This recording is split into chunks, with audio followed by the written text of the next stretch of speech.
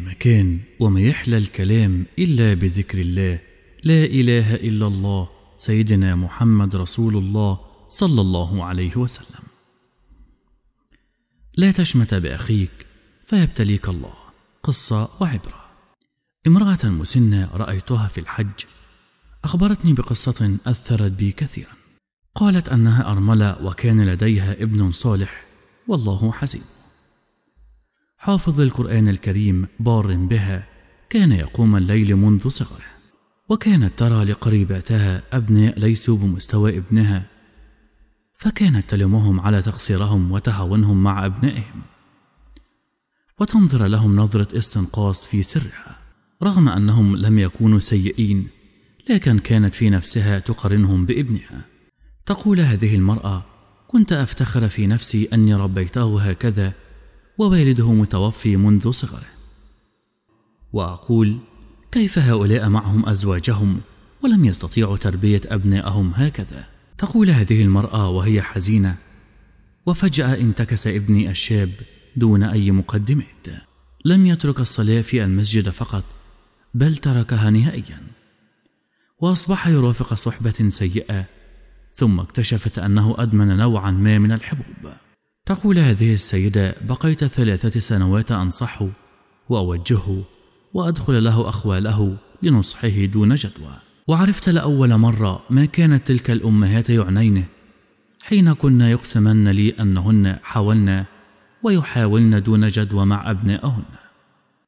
رغم أنهم لم يصلوا لما وصل له ابني من انحرافه لقد وصلت به الحال أني كنت أدخل غرفته فأجمع الحبوب والصور الخليعة من أدراجه وأتخلص منها. فيغضب مني ويصرخ ويدفعني حتى يكاد يضربني بل فعل مرة.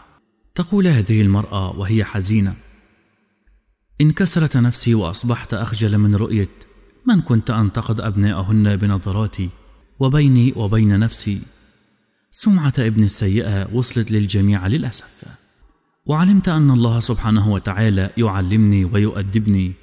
والله ما انفككت عن الدعاء له ثلاث سنوات وأنا أدعو وأبكي وأبكي بحرقة. لكأن الله سبحانه وتعالى أراد أن يربيني وفعل سبحان الله.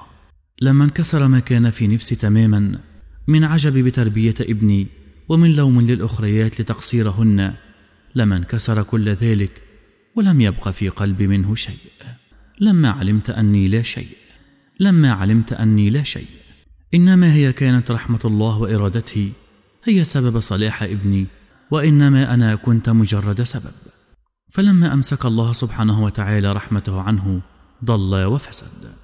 لما وصلت لهذه المرحلة من التعلق التام برحمة الله سبحانه وتعالى والتخلص من كل ما تعلق بنفسي وبتربيتي كنت أدعو في كل صلاتي ذات ليلة وأبكي. دخل علي ولدي في غرفتي وكانت الساعة الثالثة ليلا وعيناه حمروان من السهر ورائحته تفوح منها الدخان.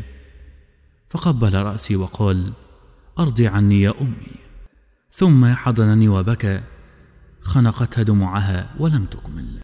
قلت لها وماذا حصل يا خالة؟ قالت الحمد لله انظري إلي هو الذي أحضرني الآن للحج يا ابنتي. رحمني ربي ولطف بي وبه. ليست شطارة مني بل هو توفيق من الله سبحانه وتعالى. الحكمة من هذه القصة وأخلاقهم رزق ونعمة وتربيتهم رزق ونعمة. واحترامهم لنا رزق ونعمة وحبهم لنا رزق ونعمة. وتوفيق الله سبحانه وتعالى لهم رزق ونعمة. ولا بد للرزق من الشكر. اللهم لك الحمد فيما رزقتني. ولا بد للنعمة من الحمد. اللهم لك الحمد. الحمد لله دائما وأبدا. لا تعاير فتبتلى. لا تعاير فتبتلى. لا تتشمت بأخيك فيعافيه الله ويبتليك. اللهم صل وسلم على سيدنا محمد صلى الله عليه وسلم.